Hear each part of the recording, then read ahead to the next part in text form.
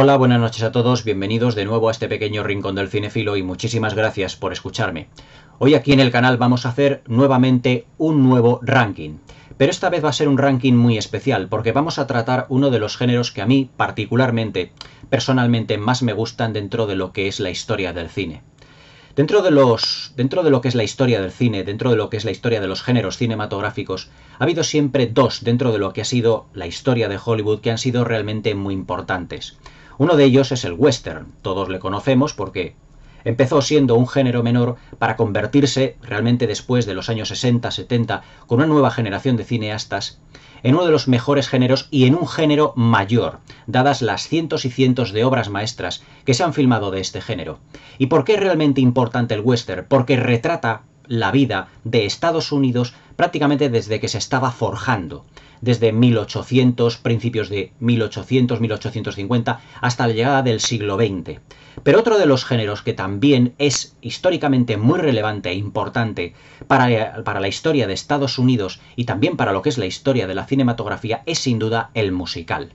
Los musicales realmente empezaron de la, de la mano de los vodeville's, de la mano de los teatros de barraca de feria, a principios finales del siglo XIX y principios del siglo XX con una serie de espectáculos, de variedades, de cantantes y de bailarines que empezaron prácticamente en los teatros, teatrillos, en las calles, en las operetas, y que luego la industria del cine se puede decir que con la llegada del cine sonoro en 1929-1930 aprovechó precisamente el sonido para poder llevar a la gran pantalla todos estos grandes espectáculos. Y desde 1929-1930, desde esa maravillosa película denominada El cantor de jazz hasta nuestros días, el musical se puede definir como uno de los grandes géneros cinematográficos junto con el western sin ningún género de dudas.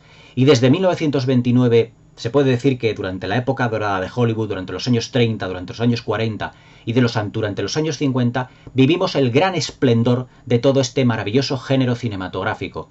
Una gran cantidad de estrellas hollywoodienses eh, absolutamente inabarcable pisó lo que fue el género musical para convertirse en estrellas de cine, empezar a cantar y a bailar y que ese fuera, pues prácticamente se puede decir, como su salto a la fama, su salto al estrellato. Sin ir más lejos, un dato que me gustaría daros es que James Stewart, uno de los grandes actores de todos los tiempos, empezó dando sus pequeños, digamos, sus pequeños primeros pasos en el cine, cantando en, películas musicales junto a actrices como Eleanor Powell, sin ir más lejos pero también podemos hablar de un grandísimo elenco de estrellas como Judy Garland, como Fred Astaire, como Showmans, como Red Skelton, como Danny Kaye, como Bing Crosby. Eh, realmente la lista es infinita de la cantidad de estrellas de Hollywood que durante tres décadas, mejor dicho, sí, durante los años 30, 40 y 50 y también parte de los años 60, brindaron eh, su cuerpo y alma al género del musical. ¿Por qué digo que este género es especial, sobre todo para mí? porque mi cinefilia, mi pasión por el cine, viene precisamente de este género. Yo cuando era un niño de apenas cuatro años, cuatro o cinco años de edad, y mi padre a lo mejor estaba de viaje, yo le grababa las películas musicales que ponían en televisión española eh, cuando él no podía estar en casa a las 10 de la noche en aquellas eh, sesiones de noche o incluso sesiones de tarde, eh, los días de diario o algún fin de semana que él no podía estar y que le grababa películas como Cantando bajo la lluvia, como Magnolia, Cita en San Luis hasta que pasen las nubes, todos ellos musicales absolutamente maravillosos, donde el uso del tecnicolor, donde las coreografías, donde los números musicales, donde los bailarines brillaban de una manera absoluta, de una manera plena, y además que, que todas esas coreografías, esos bailes tenían detrás de sí un equipo de coreógrafos de directores de varias unidades y de director y productores de las películas absolutamente memorables. Realmente nunca brilló más eh, la historia del cine, la historia de Hollywood, más que con los musicales de diversas productoras como la Metro Goldwyn Mayer, la Warner Brothers o la RKO, sin ir más lejos, aunque también se hicieron musicales en otras grandes compañías como la 20th Century Fox. Este ranking ya os digo que es muy especial para mí, porque todos estos títulos para mí son absolutamente maravillosos. Para mí son obras imperecederas de la historia del séptimo arte que tienen que estar ahí presentes en la historia del cine y que no tienen que ser olvidadas. Porque si el cine el cine sonoro empezó a ser grande fue gracias precisamente al género musical. Si hoy en día Hollywood, bueno, hasta hace relativamente pocos años, ha sido grande, fue precisamente porque el cine musical le dio, digamos, una categoría y un caché como ningún otro género cinematográfico le había dado. La Metro Goldwyn Mayer durante los años 30, durante los años 40 y otras productoras realmente se cantaron, eh, se dedicaron eh, cantidades y presupuestos antológicos a la producción de grandísimas eh, películas que tenían unos decorados gigantescos, unas coreografías maravillosas donde cientos y cientos de bailarines, de bailarinas, de cantantes daban el do de pecho, por así decirlo, para poder mostrar un espectáculo eh, que los estadounidenses no veían en su casa, no veían el, no oían por la radio y evidentemente no veían por la televisión. Un espectáculo lleno de luz y de color, absolutamente deslumbrante. En este ranking vamos a destacar cuáles son para mí los 15 mejores musicales clásicos de todos los tiempos. He tenido que dejar fuera películas de los años 70, 80, incluso hasta nuestros días, porque yo creo que la, mejor etapa de los musicales fue de 1930 a 1959 aunque en los años 60 también evidentemente se realizaron grandísimos musicales que también están en esta lista. Pero se puede decir que el grueso de las 15 películas que vamos a destacar y vamos a comentar esta noche, se puede decir que está entre las tres primeras décadas de esas que os digo de los 30, 40 y 50. Tres películas, mejor dicho, tres décadas, tres décadas absolutamente sublimes que no podemos dejar de olvidar. Incluso hasta nuestros días se han realizado musicales maravillosos como la versión de West Side Story que hizo hace un par de años Steven Spielberg, que fue un fracaso eh, no de crítica sino de público, o películas eh, también como El Chicago de Rob Marshall, o sin ir más lejos como La La Land de Damien Chazelle. Y siendo todas ellas películas muy notables, no pueden llegar a clausurar, mejor dicho, no pueden llegar a eclipsar, esa es la, película, la palabra, no pueden llegar a eclipsar a los grandes musicales de la era dorada de Hollywood. Aquello eran auténticos espectáculos deslumbrantes. Y estos son para mí 15 de los mejores, si no los mejores, 15 musicales de la era dorada de Hollywood y por lo tanto de la historia del cine. Vamos a hacer este ranking como siempre del último al primero. Y hay películas de, de bastantes décadas, ya os digo, pero he tenido que dejar muchísimas fuera porque ya solo la Metro Goldwyn Mayer hizo, durante los años 30, 40 y 50, más de 200 musicales. Una auténtica locura de película. Pero claro, luego también estaban la RKO, la Warner Brothers, la 20th Century Fox, que todas ellas también hicieron sus pinitos en el género musical. Pero si hay que destacar una gran productora, fue en ese momento la Metro Goldwyn Mayer, igual que otras productoras destacaban, por ejemplo, por ser las mejores en, el cine de terror, como la Universal, con su eh, con su eh, este el ciclo este de las películas de Boris Karloff, Bela Lugosi, dirigidas por Todd Browning, por eh, por Carl Freund, por, por James Whale, o películas del cine negro donde estaba especializada, vamos así decirlo, la Warner Brothers. Pero también otras productoras brillaron como la RKO y evidentemente la Metro Goldwyn Mayer y sin más dilación vamos a ir comentando estas 15 maravillas y vamos a hacer un breve comentario de todas y cada una de ellas para darles la importancia que merecen dentro de lo que fue la historia del cine. En el número 15 tenemos una película que se puede decir que descubrió a una gran estrella y que inauguró en 1944 eh, una variante del género musical que fue el musical acuático. Y evidentemente yo creo que ya sabéis cuál fue la gran estrella. La gran estrella de todas estas películas que se desarrollaban más dentro del agua que fuera fue la sensacional Esther Williams, y que realizó un montón de películas musicales en las que ella se puede decir que se lucía más dentro de la piscina que fuera.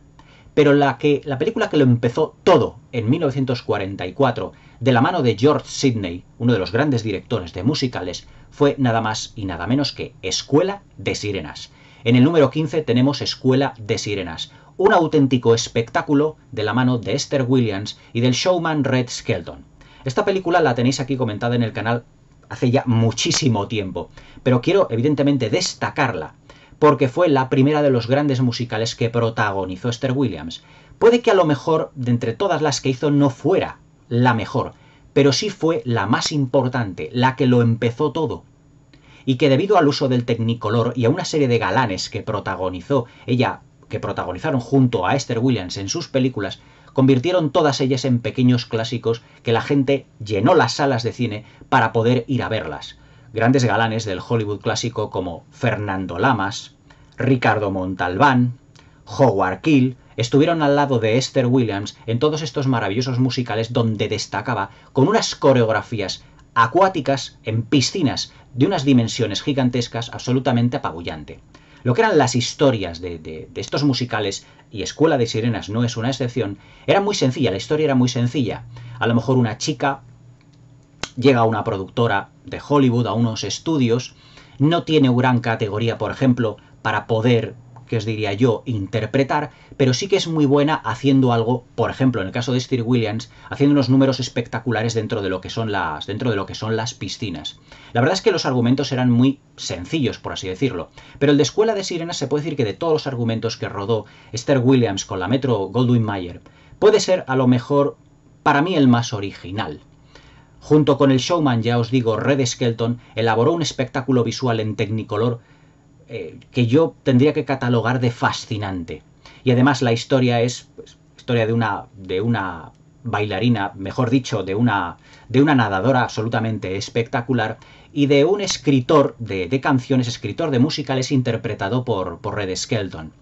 Lo que pasa es que ellos dos quieren casarse, pero la boda entre ellos dos no puede ser posible debido a que Esther Williams, si el personaje de Esther Williams, si se casa con el personaje de Red Skelton, lo que hace va a ser dedicarse a ser ama de casa y dejar por completo los números musicales. Y los musicales, evidentemente, a los cuales pertenece, a la compañía que pertenece.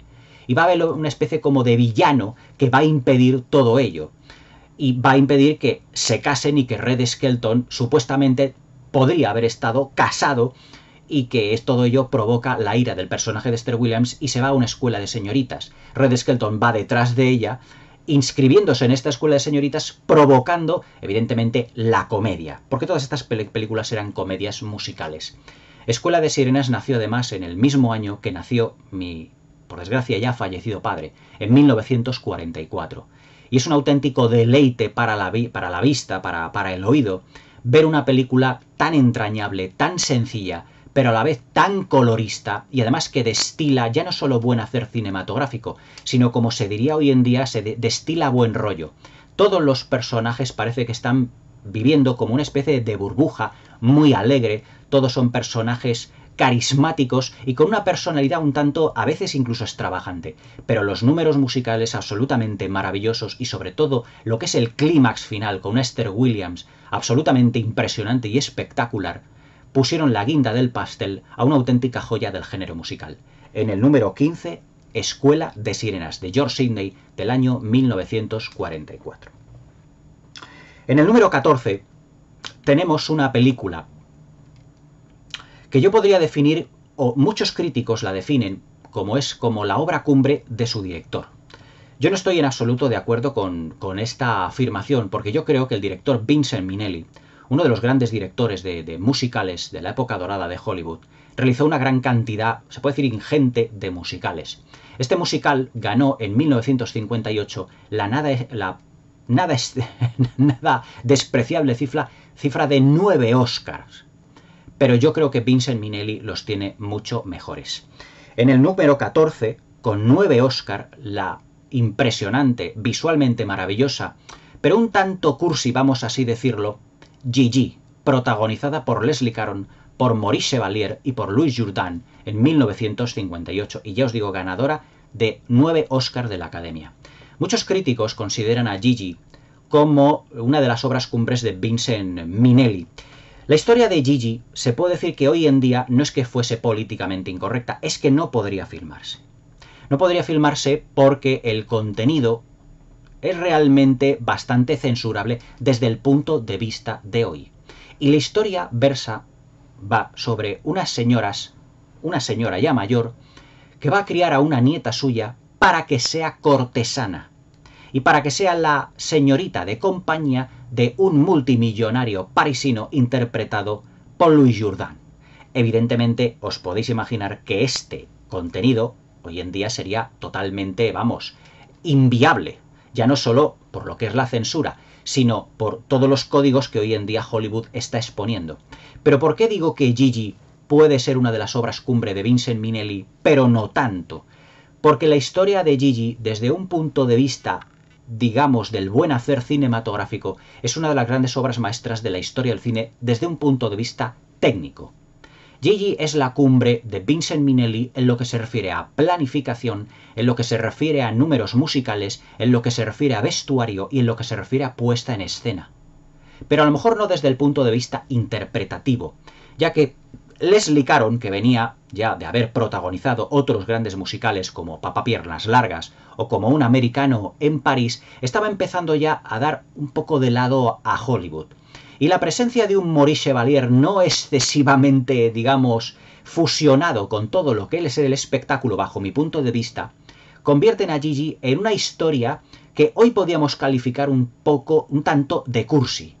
Pero eso sí, atención a cómo están filmados los números musicales, atención a cómo está hecho, cómo está utilizado el uso del, del Technicolor y evidentemente la puesta en escena ampulosa de Minelli. Y sobre todo, uno de los, uno de los aspectos que Vincent Minelli tenía en cuenta en muchas de sus películas, pero que en esta le dio especial énfasis.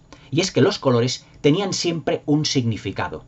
El color rojo es realmente el color predominante dentro de lo que es la película ya que simboliza la pasión, simboliza el deseo. Y hay, digamos que una especie de, tensión sexual no resuelta y de sexualidad soterrada durante toda la película.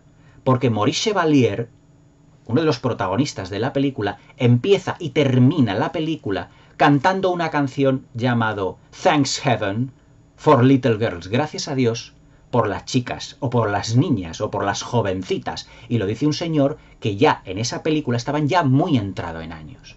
Ver hoy en día Gigi, o si se estrenase, se estrenase hoy en día Gigi, realmente sería un bombazo auténtico por lo que es el argumento de la película. Pero en aquella época Vincent Minnelli y sus guionistas y el productor Arthur Fried tuvieron, la suficiente gallardía eh, para poder ocultar una historia totalmente sexual dentro de lo que era un musical, porque el personaje de Gastón, interpretado por Louis Jourdan, lo que busca es el placer en su vida, y las mujeres no son más que un objeto. Se termina cansando de ellas hasta que encuentra a Gigi, la nieta de una, digamos, vamos así decirlo así, una vieja amiga de, de un conocido, vamos a, a dejarlo ahí, evidentemente, dado lo que es la temática de la película, y que esa niña, interpretada por Leslie Caron, va a ser su cortesana. Pero que, claro, como estábamos el código Hayes, al final de la película la cortesana termina convirtiéndose prácticamente en su mujer, cuando Louis Jourdan, delante del personaje de Mamita, le dice, por favor estoy aquí para pedir la mano de Gigi. Porque realmente el amor y el matrimonio tenía que triunfar por encima de los placeres mundanos y de los placeres carnales. Pero Gigi es el mensaje que nos da realmente la película. Es decir, la creación de una cortesana. Hoy en día esta película sería un escándalo. Pero debido a todo el buen hacer que tuvo Vincent Minnelli y la ampulosísima puesta en escena, ha sido comparada esta película muchas veces con My Fair Lady de George Cukor, la convierten en un auténtico clásico y para muchos la joya de la corona de los musicales de Vincent Minnelli. En el número 14, Gigi, del año 1958. En el número 13, una película realizada también por George Sidney. La tenéis aquí comentada en el canal. Para mí esta película es una auténtica maravilla. Es una obra de arte tanto argumental como musical.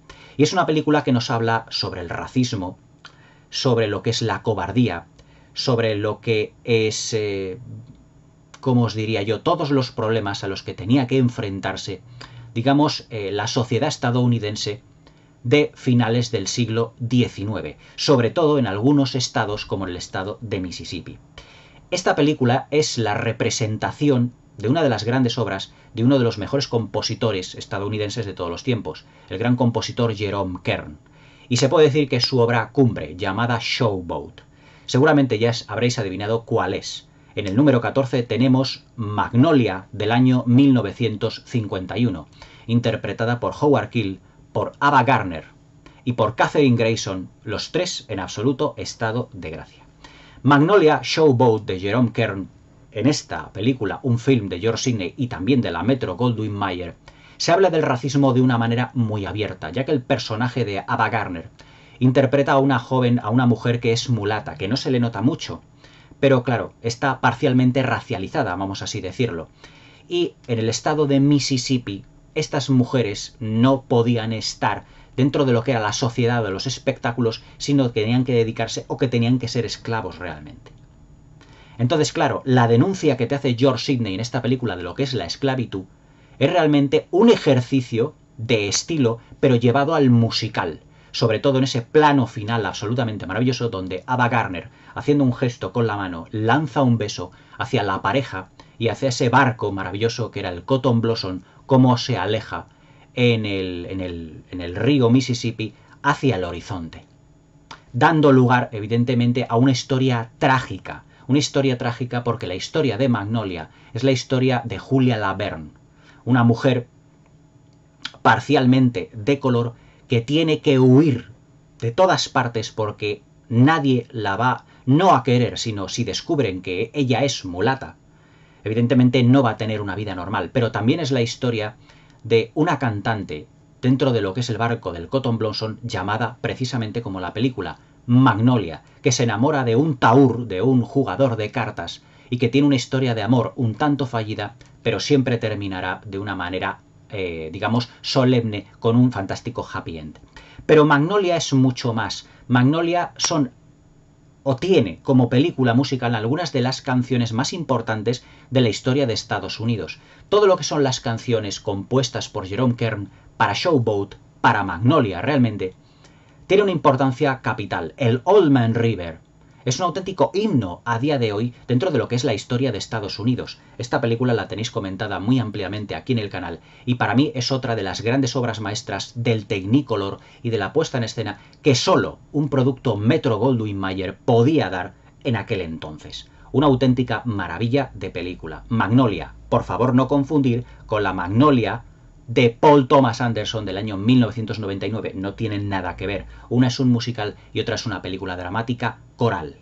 Aunque también se podría decir que todas las películas musicales dentro de la historia de Hollywood son casi también películas corales, porque nos hablaban de muchas de muchas historias, de muchos personajes a la vez. No se profundizaba mucho en ellos, pero para dar todo ello más rienda a lo que era el espectáculo. En el número 13, Magnolia de George Sidney. En el número 12 nos vamos ahora a la Warner Bros. A la Warner Brothers, perdón, a la productora.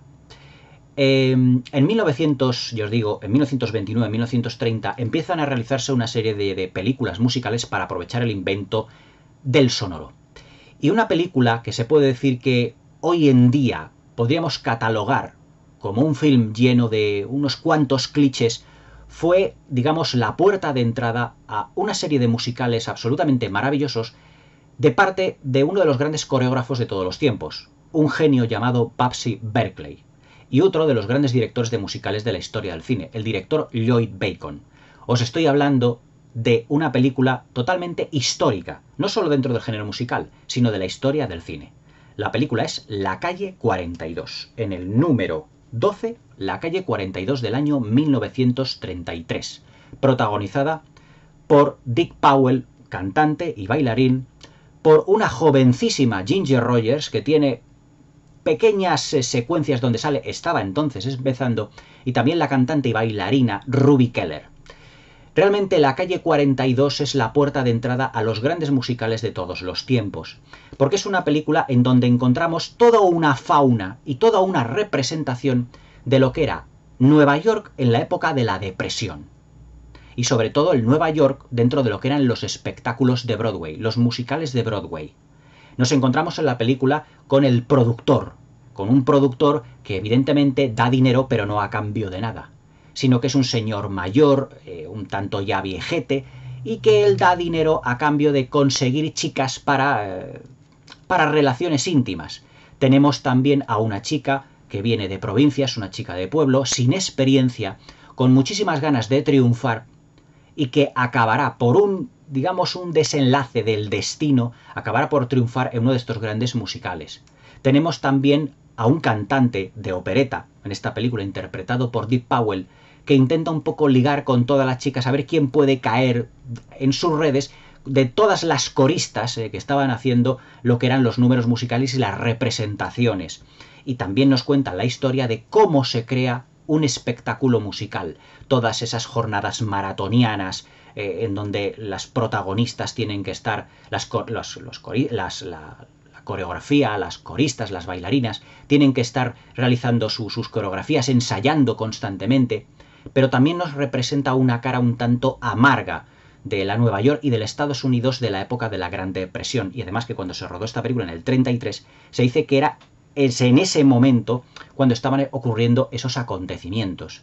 Esos acontecimientos en donde todas las bailarinas se puede decir que no tenían donde caerse muertas. En el sentido de que se hacían bailarinas y cantantes sin tener, sin tener voz y sin tener experiencia solo para poder comer. También estamos hablando de ciencia, cierta influencia del mundo gangsteril en todo este mundillo del espectáculo para sacar tajada económica. Estamos hablando de, personas que, que no tenían un céntimo, no tenían dinero y que lo daban absolutamente todo con tal de poder sobrevivir a cualquier precio. Incluso hay determinados diálogos entre las chicas, entre los personajes de la película, en el que se da a entender que todas estas coristas, que todas estas bailarines, no solo se dedicaban a bailar, sino también a otra serie de trabajos, vamos así, de, vamos así decirlo. En la calle 42 también fue uno de los grandes musicales, el primer gran musical, eh, también de lo que se denominó la época pre-code, es decir, antes del código Hayes. Y eso lo podemos ver no solo en los diálogos, sino en algunos determinados planos en donde Lloyd Bacon, el director, pone la cámara debajo de lo que son las, los escalones de las escaleras para bajar de lo que son los camerinos a lo que es el teatro y vamos viendo la ropa interior de todo lo que eran las bailarinas. Luego, por ejemplo, la cámara, cómo va eh, eh, dentro de los números musicales, en alguno de los números musicales, va filmando entre las piernas de las chicas que van haciendo todas ellas una especie como de túnel de las piernas de todas las chavalas. Pues claro, la cámara va por dentro filmando las piernas y prácticamente no se le ve la zona pública prácticamente de milagro, se puede decir.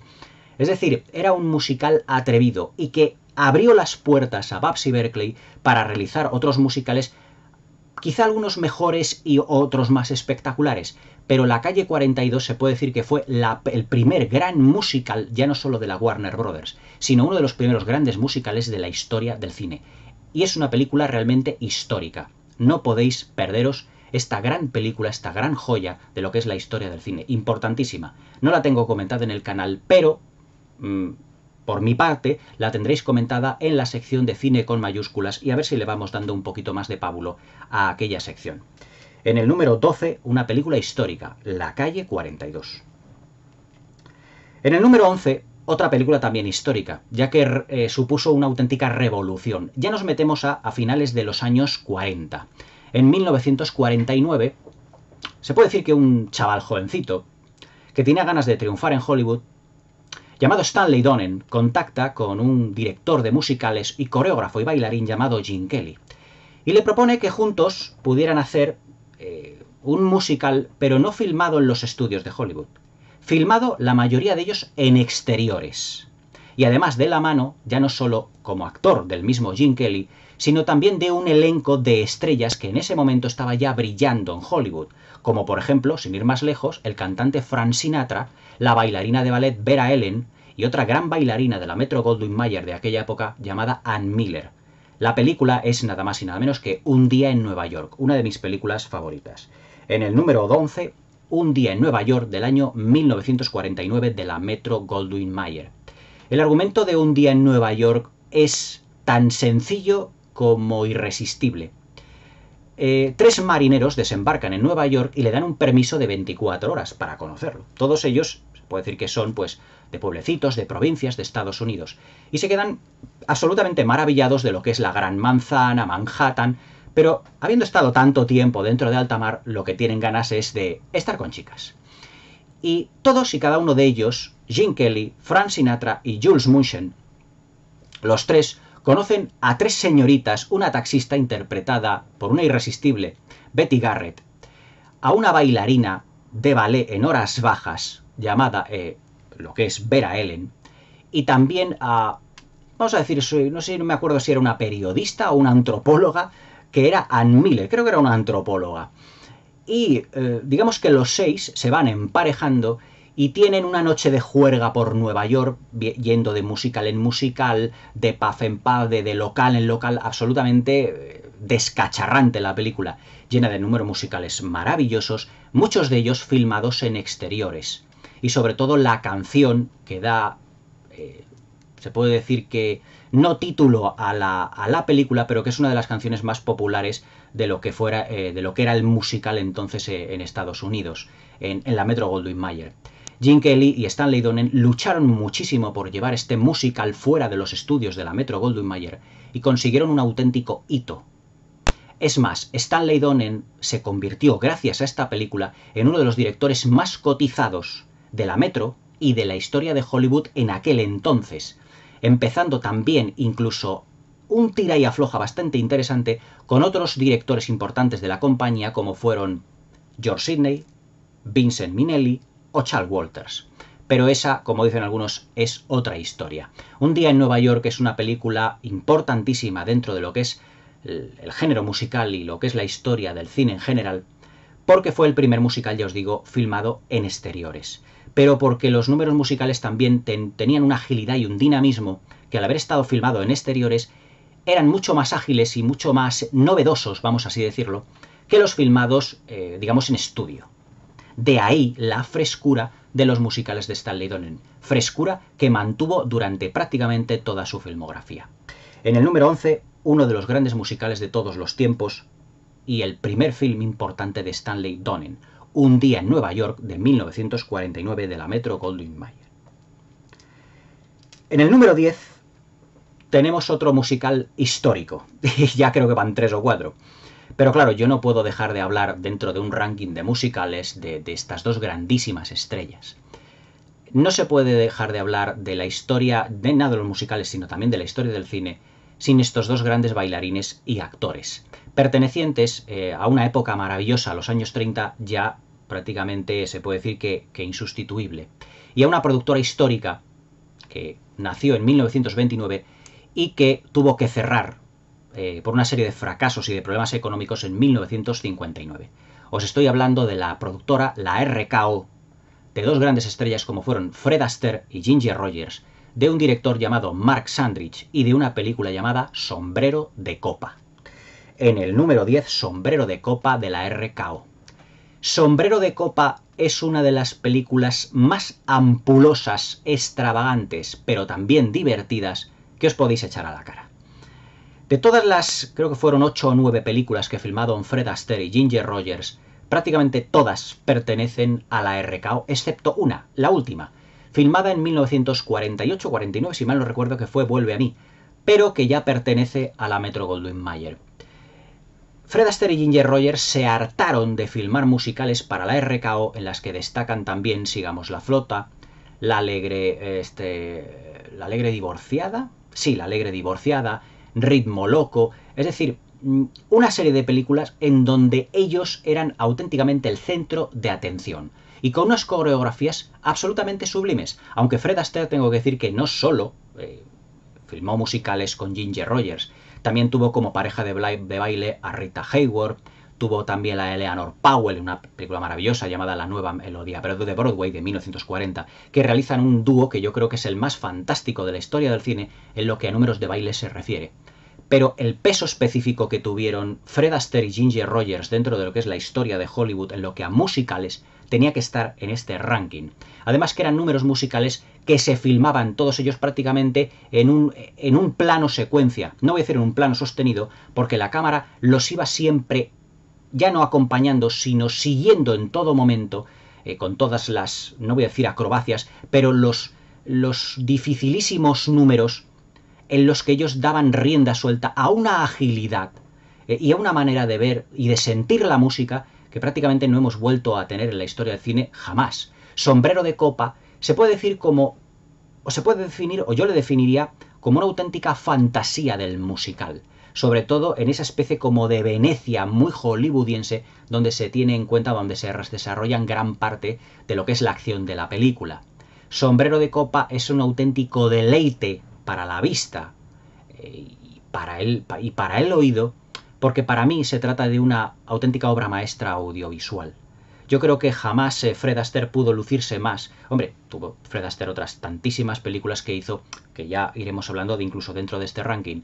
Pero Sombrero de Copa es algo, es algo especial. Compartió protagonismo con un, actor, creo recordar que era, era Edward Everett Horton, dándole la réplica como un amigo suyo, en donde la película siempre da pie, eh, digamos, a los... Eh, ¿Cómo diría yo? Como una serie de enredos entre líos de entre un chico y una chica que se conocen, se empiezan a gustar, eh, a mitad de la película se enemistan, pero una canción les reconcilia, así constantemente, que es un auténtico encanto de argumento, pero eso sí, se puede decir que eh, si las películas de la RKO se distanciaban de los de la Metro Goldwyn Mayer en ser en blanco y negro, en dejar estática la historia, en donde en el número musical se puede decir que la historia no evolucionaba, en los de la Metro sí, la Metro Goldwyn Mayer sí que ocurría, creaban un nuevo estilo de, película musical, en, lo que, en la que las coreografías, en el que las bandas sonoras muy parecidas entre ellas y las historias también sospechosamente parecidas,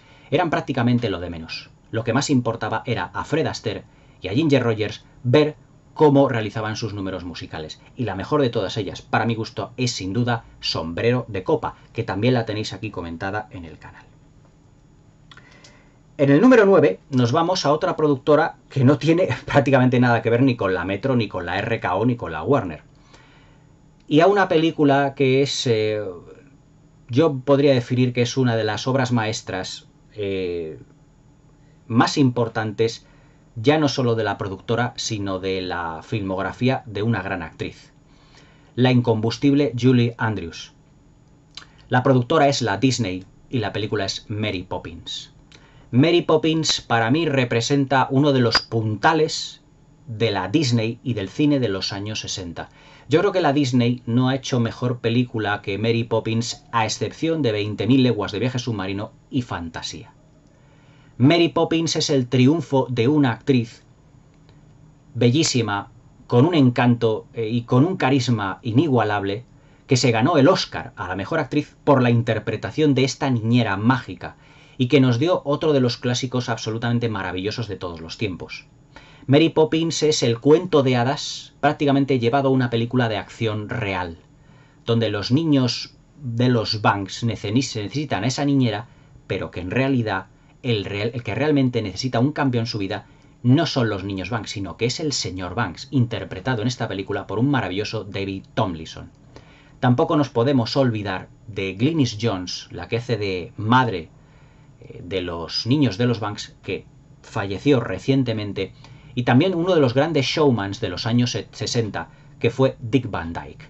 Mary Poppins es la recopilación de lo que es el gran hacer que tenía la Walt Disney con unos cielos, mejor, unos cielos, perdón, unos decorados hasta cierto punto sombríos, con ese Londres misterioso, ese Londres entre lo victoriano y lo eduardiano, esos números musicales donde se mezcla la acción real con los dibujos animados, unas canciones todas ellas pegadizas a más no poder, escritas por los inolvidables hermanos Sherman y una dirección ágil como pocas, de la mano del el gran director de la productora, que ya os hablé el otro día cuando hice la review de eh, Un gato del FBI, que fue eh, Robert Stevenson. Perdón, Robert Stevenson? Sí, creo que sí, recuerda Robert Stevenson. Que no tengo tal amalgama de, de nombres.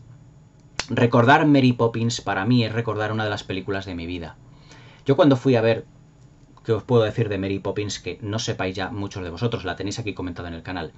Solo deciros, por ejemplo, que yo cuando fui a ver la, segunda parte, el regreso de Mary Poppins, em, digamos que tuve sentimientos encontrados. Es una película que recupera mucho de lo que fue la obra maestra, una de las obras maestras de Walt Disney, pero que le falta todavía el carisma para llegar a ser un auténtico clásico. A Walt Disney le costó muchísimo convencer a Pamela Travers, una escritora, la escritora, la creadora del personaje de Mary Poppins, para poder llevar a la gran pantalla su personaje en un musical inolvidable. Se puede decir que fue de parte de Walt Disney, del propio Walt Disney, la película que más trabajó antes prácticamente del falle, de su fallecimiento dos años después. Mary Poppins es una película mágica, conmovedora, es, digamos, el retrato de lo que era la Walt Disney Productions. Yo creo que a ese nivel de magia nadie va a llegar nunca jamás. A ese nivel de, de, de, de, canciones maravillosas nadie va a llegar jamás. Ya no va a volver, no van a volver nunca unos hermanos Sherman. Y de la mano de Julie Andrews y de Dick Van Dyke, Walt Disney nos dio una auténtica obra de arte ganadora de cuatro o cinco Oscars de la Academia.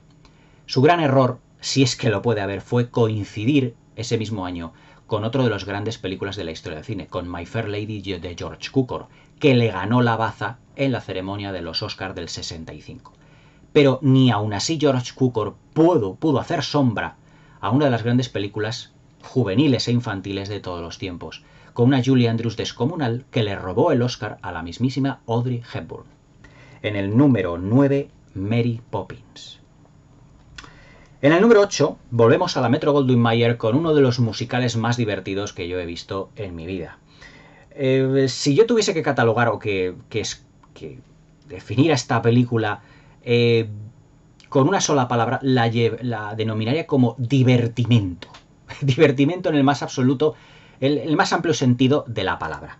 Es una película de Stanley Donen, es una película de 1954 y tiene como protagonistas a siete leñadores y a siete chicas jóvenes. Todo ello para componer en el número 8 siete novias para siete hermanos.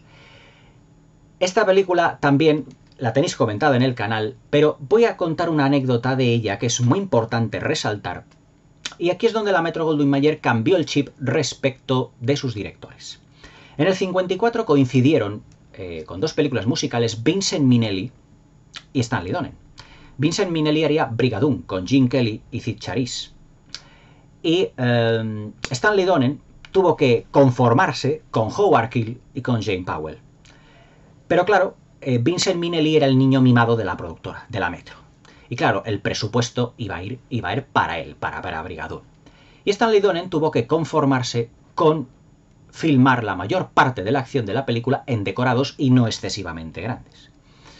Pero claro, eh, Stanley Donen tenía que, ganarse su sitio en la compañía, aunque evidentemente después de Cantando bajo la lluvia del 52 se lo tendría que haber ganado de sobra. Pero Cantando bajo la lluvia es una película que hoy en día tiene mucho más prestigio que el día que se estrenó. Sin embargo, Sete Noves para Siete Hermanos tuvo que realizar un auténtico pulso con Vincent Minnelli para ganarse el prestigio que hoy tiene. Ese prestigio se lo dio la taquilla. Cuando se estrenaron prácticamente a la vez Brigadón y Siete en Subenovias para Siete Hermanos, Brigadón no resultó en la taquilla como los directores, como Arthur Fried, el productor de los musicales de la Metro, pensaba. Sin embargo, Siete novias para siete hermanos se convirtió en un clásico instantáneo. Todo el mundo corrió a ver Siete novias para siete hermanos.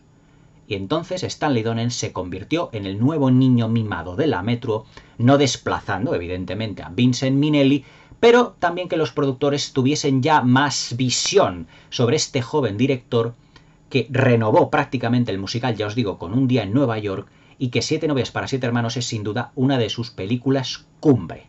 La acción se traslada a Estados Unidos, a las montañas rocosas, en donde un leñador, interpretado por Howard Keel, baja a un pueblecito y conoce a una bella dama que es Jane Powell. Se enamora de ella y la lleva a vivir a una casita a las montañas, a una cabaña de las montañas. Pero, ¿cuál es la sorpresa de ella al ver que no va a estar sola con su marido, sino que tendrá otros seis gandules que tendrá que dar de comer, mantener, vestir, lavarle la ropa, etc. Es decir, que Howard Kill prácticamente se había casado con casi con una asistenta, vamos así decirlo. Pero para ello Jane Powell, eh, se puede decir que idea digamos, una estratagema, vamos así llamarlo, para que esos seis chicos también eh, hagan la corte a otras seis chicas del pueblo que tienen a su vez a otros seis pretendientes, creando el conflicto humorístico que tiene toda la película y que destila por, por, todos los poros de su piel. Eh, secuestros, eh, construcciones de graneros, peleas, convierten a siete novias para siete hermanos en en un auténtico clásico maravilloso, un divertimento para toda la familia y con unas canciones atrayentes y con unos números musicales descacharrantes y hasta cierto punto también extravagantes.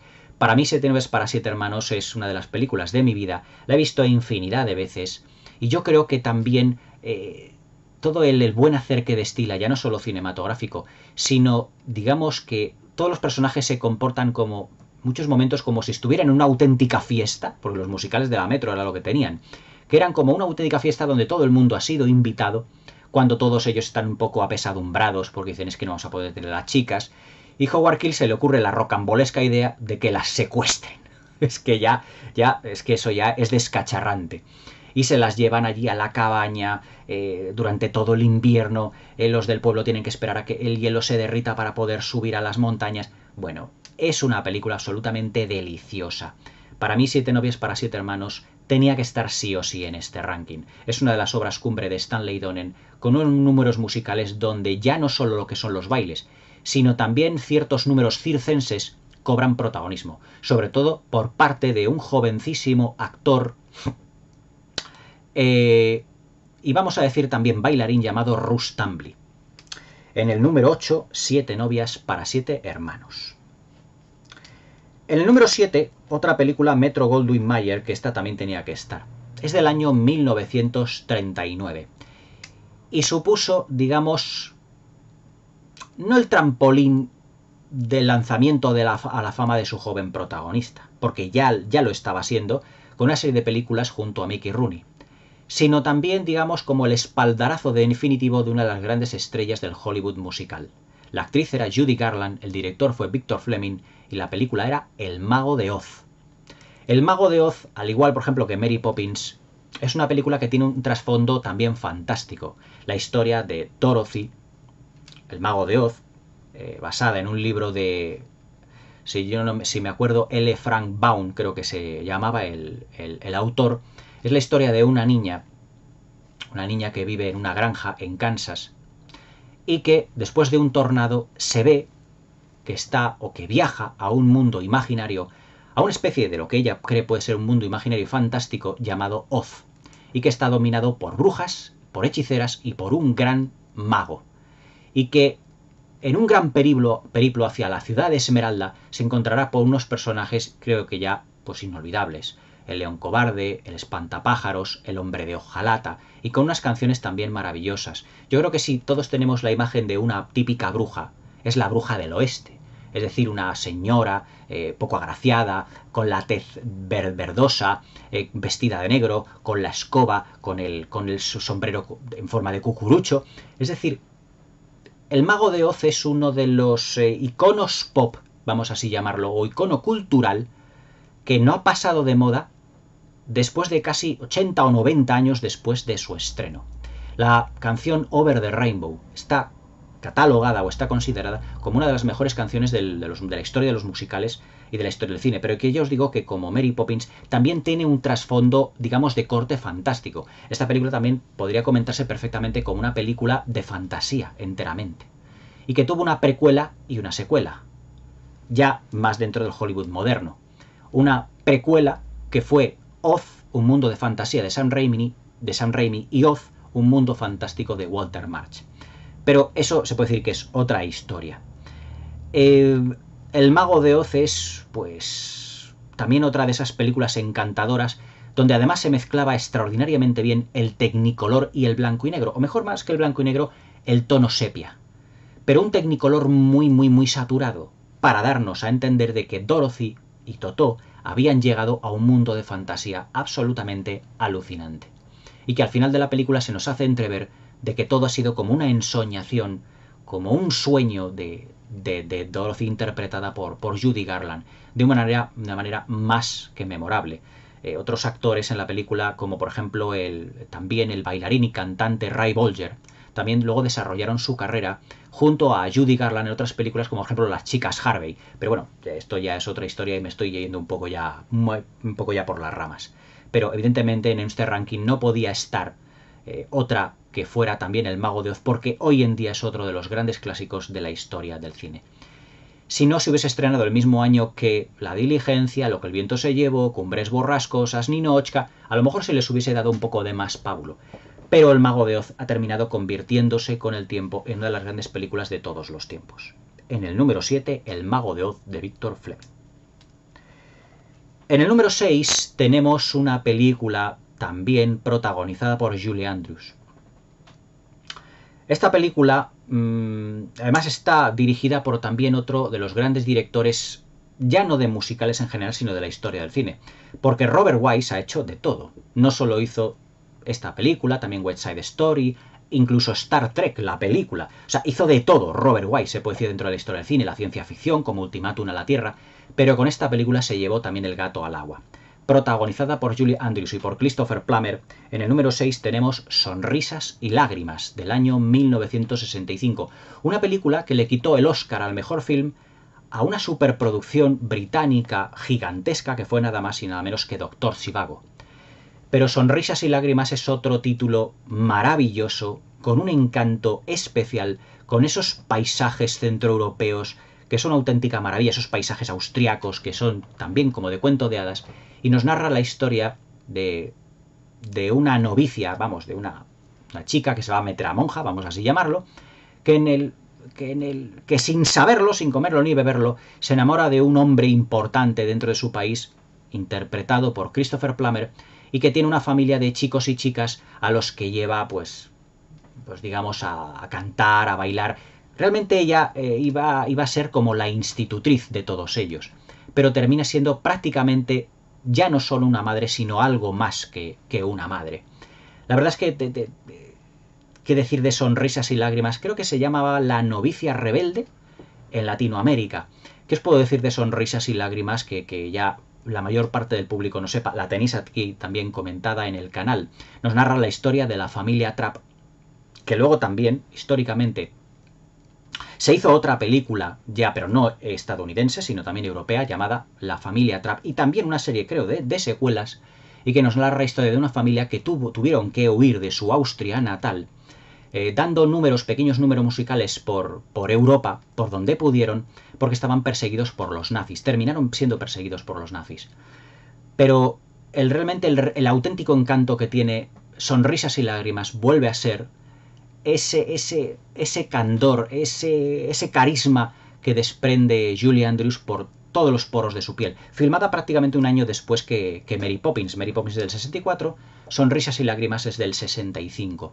Es una auténtica maravilla al principio de la película ver a Julie Andrews cantar Sound of Music, el sonido de la música, eh, en esos...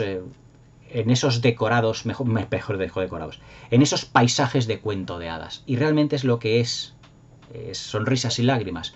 Es un cuento de hadas, es, no voy a decir un cuento como La Cenicienta, porque la novicia, el personaje de Julie Andrews no es una Cenicienta, pero sí que es el, el, tema parecido a la Cenicienta porque ella encuentra el príncipe azul de toda su vida, interpretado por un Christopher Plummer muy notable.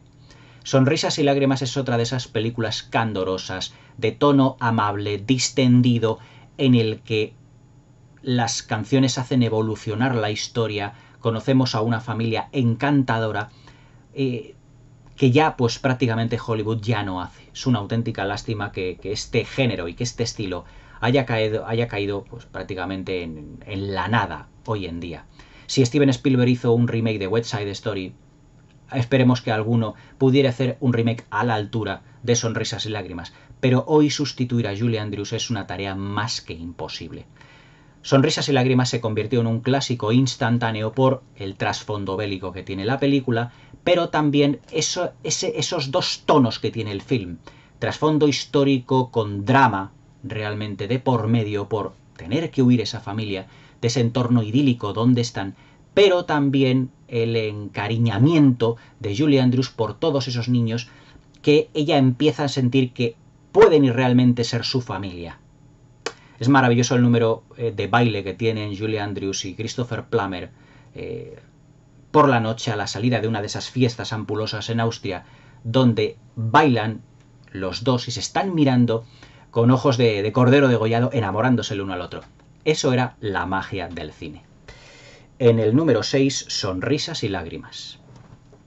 En el número 5, y ya vamos entrando en, en películas también muy importantes, tenemos una película totalmente inolvidable.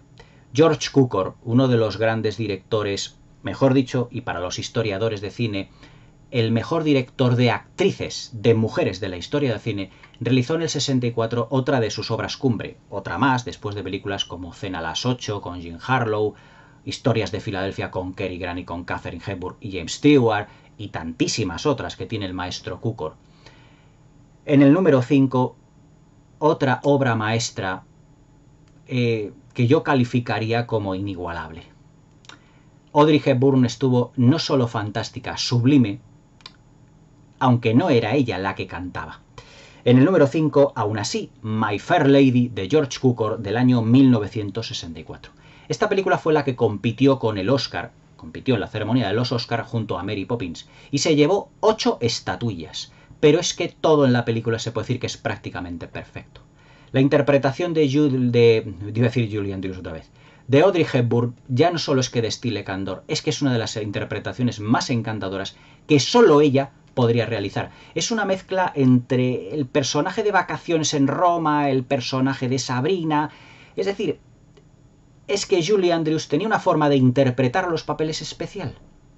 Porque siempre miraba a la cámara prácticamente sonriendo. Es decir, cuando, cuando, cuando Audrey Hepburn sonreía, sonreía el público entero. Y luego, sobre todo, ese profesor Higgins interpretado por, por un magnífico Rex Harrison, que escoge a una chica de la calle, a una florista, y se apuesta con un colega suyo a que puede llevarla a una recepción en donde esté la mismísima reina de Inglaterra y la puede hacer pasar por una señorita de la alta sociedad. Atención a todo el proceso, todo el proceso, digamos de, algunos dirían adoctrinamiento, yo diría que todo el proceso de educación de la señorita Doolittle, de Audrey Hepburn, en esa señorita de la alta sociedad. Dos estilos de interpretar muy distintos en un mismo personaje. La Audrey Hepburn al principio de la película no se va a parecer en nada a la Audrey Hepburn al final de la película. Una auténtica maravilla de film llena de canciones extraordinarias y todo con una puesta en escena y con unos números musicales íntegramente filmados en decorados, pero que parece que son absolutamente exteriores. Esa biblioteca maravillosa que tiene el profesor Higgins, infinita biblioteca, y todos, todas esas lecciones que ya han pasado a la historia del cine, como diciéndole en la versión en castellano Audrey Hepburn a la señorita Luditel, la lluvia en Sevilla es una pura maravilla y que tiene que repetirlo tropecientas mil veces. Eh, y claro, el profesor Higgins que se va poco a poco enamorando de un personaje que al principio parecía una, parecía una rana, pero que luego se transforma en un príncipe. Es un patito feo que se termina convirtiendo en un cisne en un cisne absolutamente antológico. La belleza de Audrey Hepburn es brutal en la película, sobre todo en dos secuencias. En la secuencia tan, tan eh, cómica eh, de, la hípica, cuando le lleva a las carreras de caballos, y luego al final de, de la misma, cuando incluso el personaje de Audrey Hepburn, la señorita Doolittle, se va con la madre del personaje de Rex Harrison. Y también le llega a decir que no la volverá a ver en su vida, cayendo el personaje del profesor Higgins en, una tristeza, una tristeza absoluta, pero el destino ya ha hecho su trabajo, los dos están enamorados. My Fair Lady es otra de esas encantadoras historias que no podéis dejar de ver. También la tengo aquí comentada en el canal. ¿Qué voy a hablar? De las maravillas que tiene My Fair Lady en el número 5 de George Cukor. En el número 4, otra película musical que hizo evolucionar el género de una manera determinante. Si hasta 1949 Un día en Nueva York era una película, eh, o se habían hecho musicales en donde los números, los números musicales propiamente dichos, interrumpían la historia, Un día en Nueva York era una película en donde la historia, la evolución de los personajes seguía. Es decir, en los números musicales los personajes seguían desarrollándose, porque en las canciones se desarrollaban o se mostraban, digamos, aspectos de la personalidad de cada uno de los personajes. Pero es que esta película dio un paso más y los números musicales ya no solo hacían avanzar la historia, sino que también expresaban las emociones, los sentimientos, las frustraciones de los personajes que estaban involucrados en los números musicales. Este film tiene las coreografías más impresionantes de la historia del cine musical. Es una película que en realidad es la historia de Romeo y Julieta, y que tiene un remake de la mano de Steven Spielberg, pero este es el original. Es nada más y nada menos que West Side Story, en el número 4 de 1961, de Robert Wise y Jerome Robbins. West Side Story de Robert Wise se lo debe prácticamente todo a Jerome Robbins. Jerome Robbins había estrenado West Side Story en los teatros de Broadway, los años 50. Y había sido un éxito realmente clamoroso, bestial y apabullante. Y claro, evidentemente la Metro pues no podía dejar de tener la oportunidad de llevar todo esto al cine. Y contrató nada más y nada menos que al coreógrafo y al director que había llevado ese título grandioso a las tablas de Broadway, pero en este caso a la gran pantalla en calidad de coreógrafo, y contando con Robert Wise en lo que era la dirección de actores. El resultado tanto estético, plástico, el ofera belleza, en lo que se refiere a coreografías, es tan increíble que West Side Story se llevó la friolera de 10 Oscar de la Academia en 1962 correspondiente a las películas del 61, en donde grandes estrellas brillaron como Rita Moreno, que se llevó el Oscar a la mejor actriz de reparto, George Shakiris, el Oscar al mejor actor de reparto, y una, como voy a decir yo, inigualable y maravillosa Natalie Wood. El remake que ha hecho Steven Spielberg, os tengo que decir que no le va a la zaga. Es otra extraordinaria película, es otra obra maestra. Pero claro, el despliegue que tenía Natalie Wood en la película original de Robert Wise no lo tiene Rachel Zegler. Pero aún así también es una película fantástica con todo el buen hacer de Steven Spielberg y con unas coreografías alucinantes. El uso del Technicolor, sobre todo en algunos de los números musicales de, la West Story original del 61, es absolutamente maravilloso.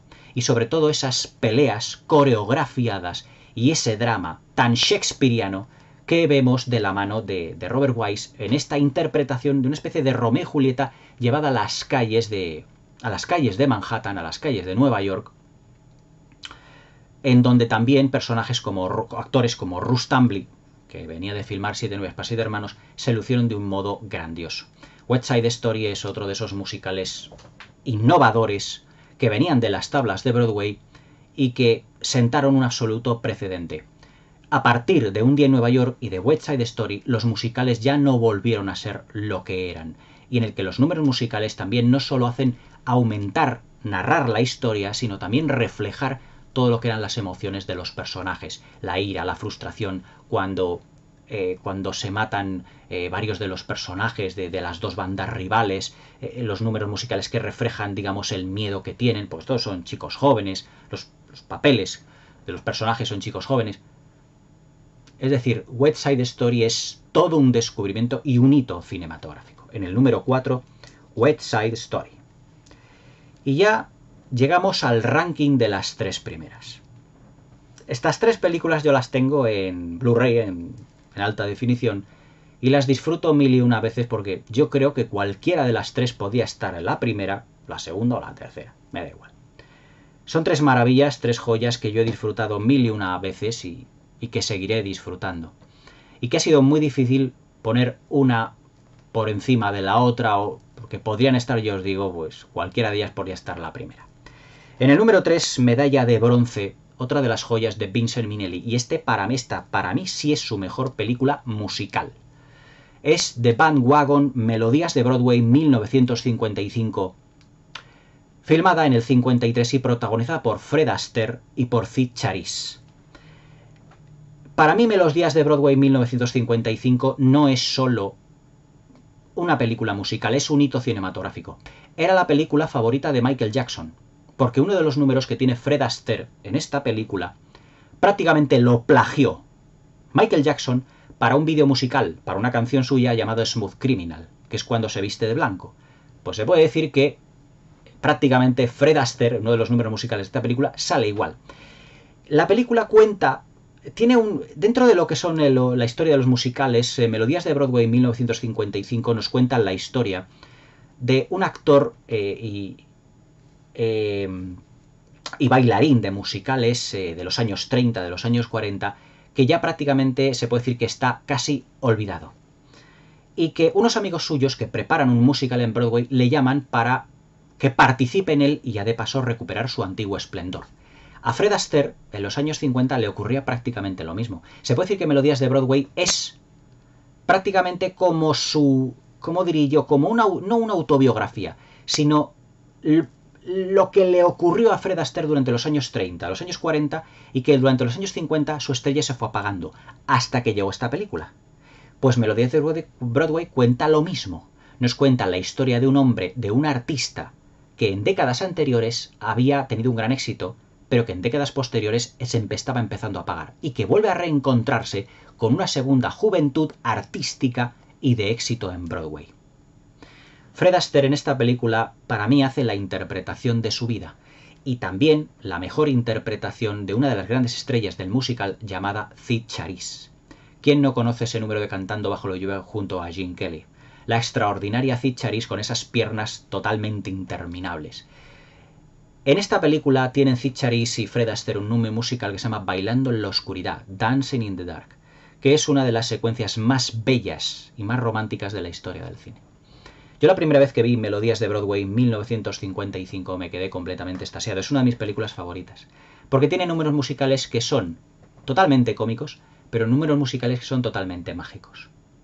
Y el argumento, ya os digo, no es la historia de amor de chico, conoce a chica. En el fondo también, bueno, superficialmente sí es así, pero todo eso llevado a lo que es la época, mejor dicho, de madurez de lo que son sus protagonistas. Y claro, la historia de un hombre que que prácticamente lo ha perdido todo, pero que, que tiene una última oportunidad en la vida de volver a brillar como en sus años mozos, vamos así decirlo, se puede decir que es un canto a lo que es la nostalgia del cine musical de los años 30, de los años 40, pero de la mano de una película en los años 50. En 1953 se filmó uno de los grandes musicales de todos los tiempos que fue Melodías de Broadway, que además su título no tiene nada que ver con el título eh, original. El título original es The Bandwagon, la banda del vagón, porque digamos que ellos van dando sus números musicales de una ciudad a otra y siempre se tienen que ir, eh, tienen que ir de un sitio a otro en tren. Y en un vagón, en un vagón de tren, eh, conversan muchos de estos personajes y dan rienda suelta a sus sentimientos, como cuando Fred Astaire le dice a Oscar Levant, es que no puedo más porque estoy totalmente enamorado de, del personaje de Cicharis, pero no sé cómo decírselo. son personajes que se tienen un mutuo respeto, pero que a la vez se van, en principio, como distanciando.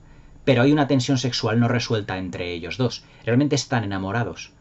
Pero claro, el ego, eh, eso de que la chica sea una novata, él sea un veterano y que pueda llegar a tener más éxito ella que él, hay una serie de ciertas rencillas. Pero el buen hacer, eh, digamos, y los sentimientos y las emociones que se reflejan mucho en los personajes, eh, dan a entender una historia de amor bellísima. Todo con una, con una banda sonora inolvidable y con una de las canciones más importantes de la historia de los musicales, That's Entertainment, que la cantan al final de la película y que es un auténtico prodigio para la Metro Goldwyn Mayer. Melodías de Broadway 1955 es una de esas películas inolvidables que no podéis dejar de ver. También la tenéis aquí comentada en el canal. Yo creo que fue una de las películas que al principio comenté al principio de la vida del canal, o sea, ya muchísimo tiempo. Y yo siempre que paso así una mala racha, un bajón, me pongo melodías de Broadway porque es, es que es difícil describir el efecto que tiene esta película en mí. Pero ver a Fred Astaire con sus bailes, el encanto de Ficharis, la banda sonora y los personajes tan joviales y tan alegres, y sobre todo el romanticismo y la magia que destilan números musicales como Dancing in the Dark, convierten a esta película en un auténtico hito cinematográfico, que podía estar perfectamente la primera, pero que yo reconozco que hay otros dos que la superan. En el número 3, medalla de bronce, Melodías de Broadway 1955. En el número 2, medalla de plata, volvemos a Vincent Minnelli, y una película que es considerada para muchos, lo dijo Fred este, Frank Sinatra en su día, cuando le dijeron, de todas las películas musicales eh, que tú has visto, no que hayas hecho, que tú has visto en tu vida, ¿cuál es para ti la mejor? Y dijo Frank Sinatra. Para mí la obra maestra de la Metro Goldwyn Mayer es Un americano en París, protagonizada por Gene Kelly y por Leslie Caron. Un americano en París es otro de esos títulos míticos en donde se puede decir que esta película es un canto al impresionismo es un canto a los eh, pintores eh, románticos de finales del siglo XIX. Y además es un homenaje a todos ellos porque una gran cantidad de números musicales al final de la película son un homenaje a estos estilos, a los estilos que tuvieron Cézanne, Van Gogh, Toulouse-Lautrec, por el estilo y la puesta en escena de Vincent Minnelli. Jim Kelly siempre dijo que su pareja de baile favorita, aunque no lo reconociese, fue Leslie Caron, aunque todo era cuestión de estaturas.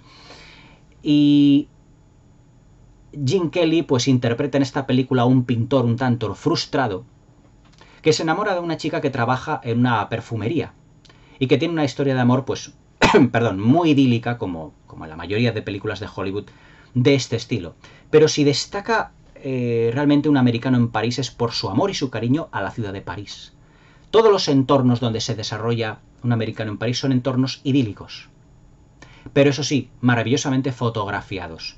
Arthur Fried, el productor de los musicales de la Metro, siempre dijo que esta era su película favorita.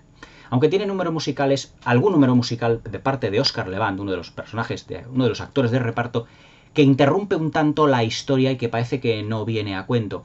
Pero todo lo que es el clímax final, la parte final, es una obra maestra musical que merece que esta película tenga la medalla de plata. Jim Kelly en esta película no solo es que estuvo sensacional, es que yo creo que nos encontramos con Jim Kelly en estado puro.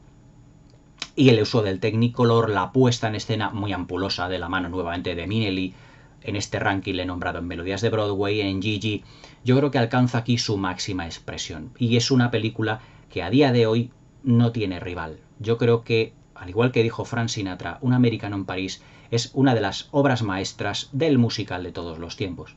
Y podría ser estar la número uno si no fuera por una obra de su rival en la productora, Stanley Donen. Número uno, medalla de oro y una de las películas mejor realizadas de todos los tiempos del año 1952, de Stanley Donen y también de Jim Kelly, Cantando bajo la lluvia. ¿Cuál podía ser sino la número uno más que Cantando bajo la lluvia con Jim Kelly, Donald O'Connor y Debbie Reynolds? un trío maravilloso para una película inolvidable. Yo creo que el, número musical de Cantando bajo la lluvia es la escena más famosa de la historia del cine. Y es curioso porque fijaos, Cantando bajo la lluvia, que también la tenéis aquí comentada en el canal, la mayoría la tenéis y las que no tendréis lo tendréis en breve, es una de esas películas en donde yo creo que hemos visto tantas veces las secuencias, eh, es, un, es un homenaje a lo que es el mundo del cine. Es un ejercicio de metacine, como dicen hoy en donde mm, vemos lo que es el paso del mudo al sonoro, que fue un auténtico drama en aquella época, porque claro, ¿dónde, dónde iba a encontrar Hollywood con el nuevo invento del sonido a tantas nuevas estrellas? Porque la mayoría de las estrellas del cine mudo o no tenían buena voz, o tenían acentos muy marcados, etc. Pues de las tablas de Broadway. Y claro, el musical tenía que ser la representación, digamos, más eh, como os diría yo, más palmaria, más fehaciente, más exponencial de lo que era el nuevo Hollywood de aquel entonces. Cantando bajo lluvia es el mejor ejercicio de metacine, de cine dentro del cine, de la historia del séptimo arte.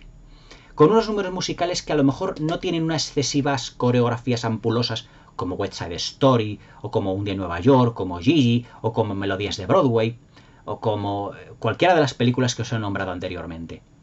Pero Cantando bajo la lluvia resume en una película lo que es la comedia musical. Los números estrafalarios tan acrobáticos que tiene Donald O'Connor en este film es que, es, que son maravilla pura. Sobre todo el making laugh, hazme reír, o sea, es que es un despliegue de, de, de, pantomimas, de gracias, de, de, de, chistes visuales, de gags, que lo que hace es homenajear al slapstick. Porque la película se desarrolla en el 28-29, prácticamente la época del cantor de jazz, el descubrimiento del sonoro. Por lo tanto, lo que nos está dando Donald O'Connor son números de slapstick. Es decir, Stanley Donen no solo filma un musical con coreografías, filma slapstick. Y luego también, mm, ¿cómo os diría yo?